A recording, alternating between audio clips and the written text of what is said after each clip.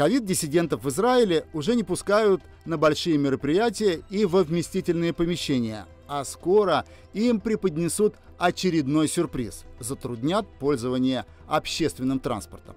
Глава правительства Нафтали Беннет приказал распространить принципы зеленого стандарта на автобусы, трамваи и электрички. Пользоваться общественным транспортом будет позволено только при предъявлении зеленого паспорта с указанием всех сделанных прививок. Непривитые будут допущены в места по принципу зеленого стандарта исключительно при предъявлении свежих результатов домашнего теста на коронавирус. А если учесть, что набор для экспресс-теста стоит около 25 долларов, то поездка в автобусе может оказаться для антипрививочников весьма дорогой.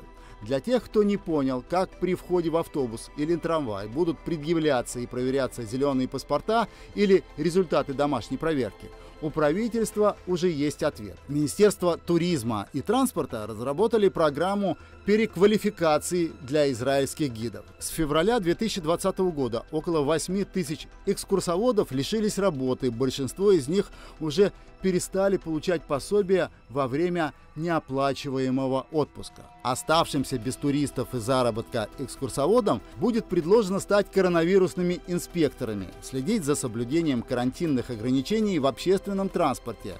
Транспортные компании готовы оплатить переобучение гидов, имеющих водительские права, на водителей автобусов при условии, что они отработают по новой специальности определенный срок министр туризма Константин Развозов и министр транспорта Мираф Михаэли намерены решить проблему временной занятости тысяч безработных и решить другие вопросы в своих отраслях. Успеют ли эти планы реализоваться до введения всех ограничений зеленого стандарта, пока непонятно.